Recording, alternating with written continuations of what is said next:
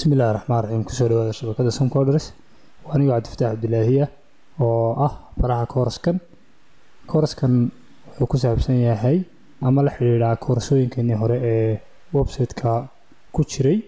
Waa blog website kaas oo ah static. Static waxaanu la jeednaa waa website h t m l iyo c s s bes ah. Ujeedadanu kalena waxa weeye inaynu u bedelno dynamic. Dynamicna waxa weeye in mid back endi leh oo meel wax laga soo geliyo aynu u sameyno sida aad la socotaan waxaynu soo diyaarinay oo hore u duubnay koorsooyin badan oo ku saabsanaa b h p my s q l sidoo kale h t m l c s s. Kan waxaan rajeyn doonaa inuu noqdo kii uu ahaa buundada ama saddexdaba isku xidheeyey waxaa aada u muhiim ahaa si aynu kooraska isula soconno project fileka. Oo file hore u jiray ayaynu kooraskan hormarinaynay markaa si aan isula soconno kooraska bilow ilaa dhammaad waxaan rabaa projectigana inaad ka dejisataan websiteka idiin soo dhigi doono sida ujeedaan folderkan ayaa projectigana ku jira.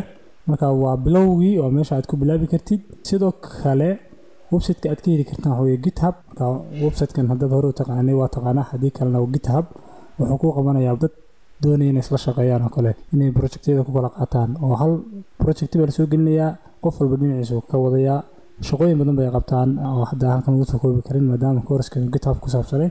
Waxaad gelaysaa slash somcoders github.com slash somcoders kabacdina waxaa kuusoo baxaya userkeygii dhowr project oo ku jira project waxaa doonaysaa la static blog haddaa github taqaanid waa taqaanaa sida loo kaloon garaysto oo command lineka ayaa ka soo gelaysaa haddii kalena waxaa leedahay kaloon sib sib ahaanba u dhumal garaysanaysaa kabacdina waxaa dhigaysaa folderkaaga htdocs-ka ee local serverkaaga magacan baa ka bedelaysaa waxaa ku qoran blog master magaca doonto u bixi kabacdina local serverkaaga haddii ay kugu adag tahay sida local server loogu duubo casharadeena mysqlka ee kooraskeena barashada asaasiga mysql oo free ah casharkiisa labaad sida sidan loogu duubo oo local server ayaa ku arkaysaa so haddaynu bloggeena eegno waa bloggan oo kale.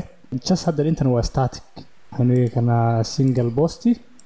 Sidoo kale waxaynu eegi karnaa single category waxaan oo dhan hamoodin inay dynamic tahay waa just static weeye haddaynu program ku dhufano still technology baynu haysanaa wuxuu tegayaa category dot p h p xalay dot h t m l.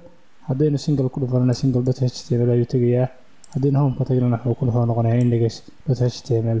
Marka website-kan waxa weeye website-kii hore ee aynu ku sameynaynay course kala dhaho c s s ku samey website dhammaystiran kaas ayaynu update garaynay websitekaas ayaynu waxaanu ku sameynay. Xoogaa c s s kiisi ayaan bedelay marka haddii ay kugu adag tahay c s s iyo h t m l qaabka website loogu dhiso fadlan soo qaado kooraskan sidoo kale kooraskan intaynu ku guda jirno waxyaabahaynu arki doono waxaa ka mid ah my s q l oo database ahaan aynu isticmaali doono. Sidoo kale waxaa ku jira coras my s q l websitekeena ku jira oo waa kan.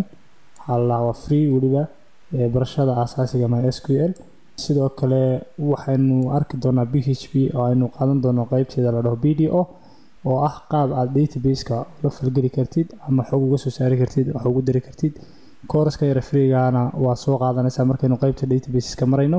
Waxaan oo dhan recommended maaha ama waajibkugu maaha laakiin waxay kuu fududeynayaan inaad si dheereysa u baratid ama si deg dega u baratid kooraskii ama faham fiican ka qaadatid.